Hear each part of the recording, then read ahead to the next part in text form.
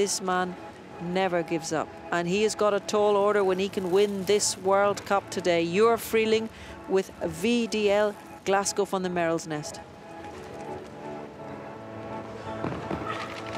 It's either Netherlands or Sweden to win this World Cup.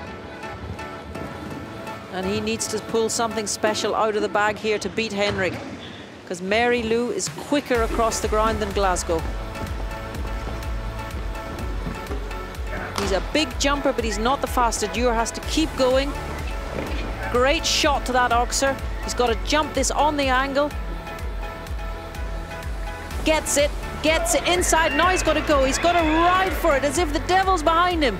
And he does, he does. And he's done it. Jur Vrieling and Glasgow win the Longines FEI World Cup stage in Helsinki, Western European League. What a great gallop to the last. What a great finish here and what a great finish for the Finnish crowd.